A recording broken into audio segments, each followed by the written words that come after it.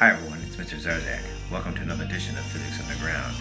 In this video, we're going to complete the projectile lab. Hey, wait a minute, Szarzak. We've got data to collect first. No ball in the cup just yet.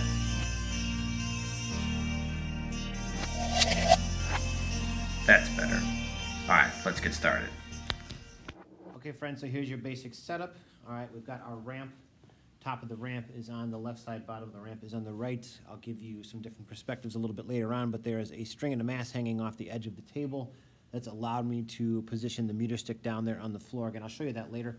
The height of the ramp has been fixed. I'll give you a close-up on that so you can make a measurement as well. So measure to the top of the ramp here, and this is the location where the ball will be released to roll down the, the ramp for all of the trials, okay? So that's the basics.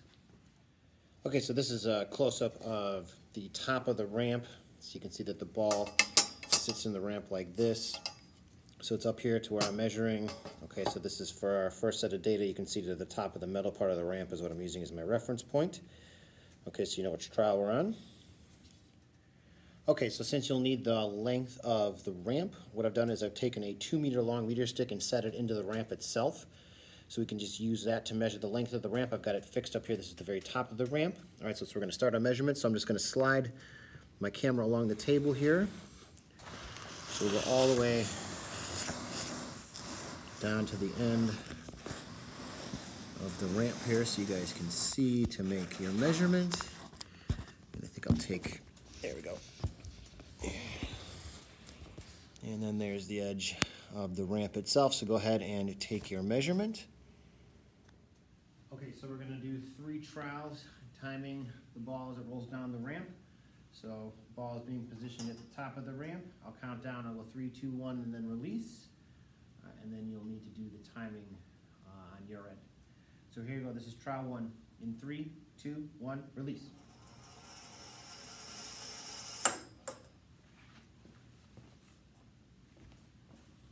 Okay, here comes trial number two. In three, two, one, release.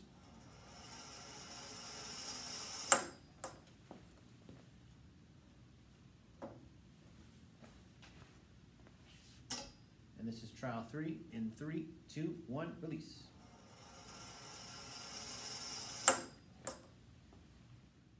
Okay, so we got a front end view of the plumb bob hanging off the edge of the table. There's the end of the ramp. And then I've got a meter stick positioned here, starting down at the ground. And I'll get eye level with the table so that you can record the necessary measurements. So go ahead and do that now. Okay, so now it's actually time to let the ball roll down the ramp. You see at the end here, on this black post I have mounted, that's a camera stand so that we can look down towards this meter stick that I've got taped on the floor. And then this is just a little a number three fishing weight that I've got tied to a string. So I've got a perfectly vertical line coming from the edge of the table. That's just so that I can line up the edge of the meter stick right at the edge of the table. Okay, so for each of these, we're gonna do a trial in normal speed video and then we're gonna do a slow motion right after so that you can record the landing location of the ball for each of the three heights. All right, so let's get to it. Okay, so I've got the, the camera positioned over the edge of the table. That string is what's called a plumb bob, so I've got a perfectly vertical line straight down to that meter stick, so I know that the meter stick is in line with the table. All right, so this is for our first set of data, so I'm gonna release the ball and you'll need to make observations as to where it lands. Okay, so I'm gonna let it go. You can hear it coming down the ramp and coming off the edge of the table now.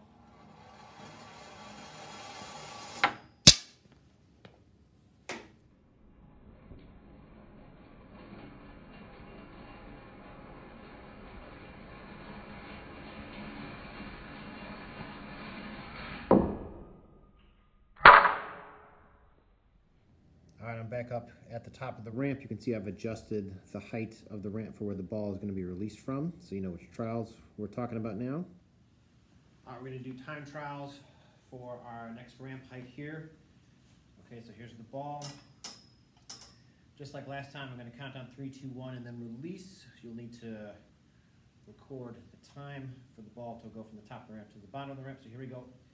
Releasing in three, two, one, go.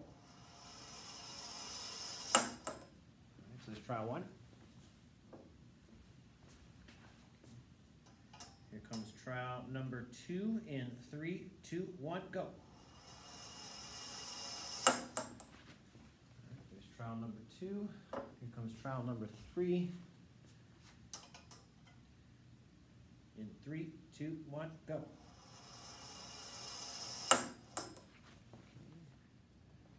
Just like before, we're gonna do one at regular speed and then one in slow motion. So we're gonna release the ball from the top of the ramp. Here we go.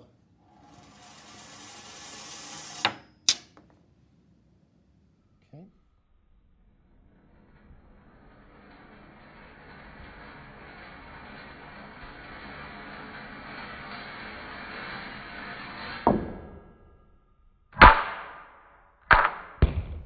Okay guys, we're back at the top of the ramp. I've adjusted the height one more time so you can see where that's at.